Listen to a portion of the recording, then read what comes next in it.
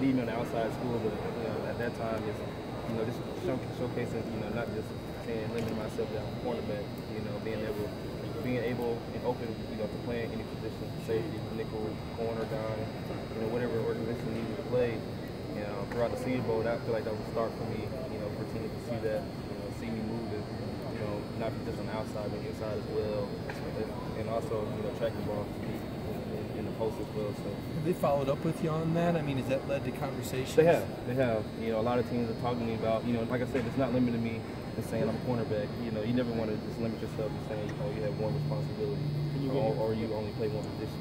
You know, being open, being open, being flexible to move around throughout the defense. You know, whatever helps to make the defense better. You know, I'm open towards it. I'm open to do it, and I've showcased that I can do it. So, I mean, like I said, whatever system I end up in, wherever I go, I'm pretty sure I have that flexibility, or they'll, you know, give me that flexibility to move inside and outside. Some of the teams you had the most conversations with, whether it was today? Was it teams or you?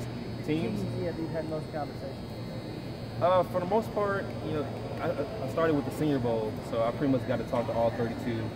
Um, at the at the combine, it kind of settled down because it's more, you know, more formal meetings.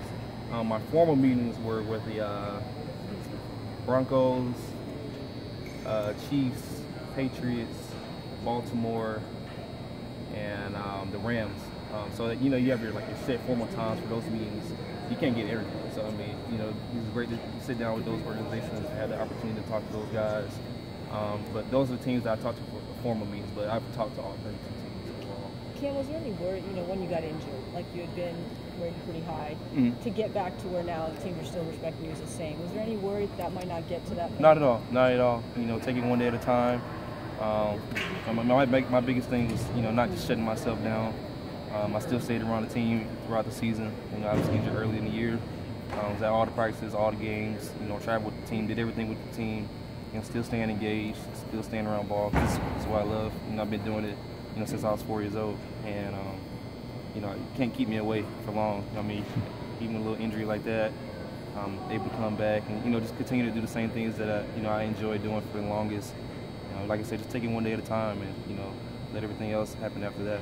Kim, did teams compliment you on you coming back as opposed to maybe shutting it down? They do. You know, um, that just shows my love for the game.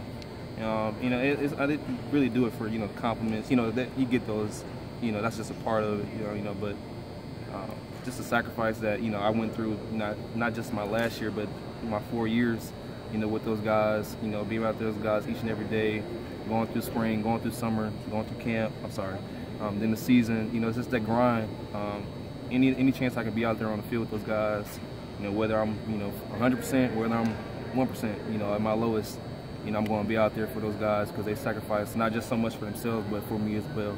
So just had the opportunity. How's it going through with all these guys out here now, knowing that the program's gotten where is attracting this many and this many high level mm-hmm. draft picks. How was it to be out here with them today? It's been great. It's been great. You know, like I said, just that the work that we put in, you know, our, over our course of time being here, you know, the blood, sweat, and tears, and you know that some people don't see.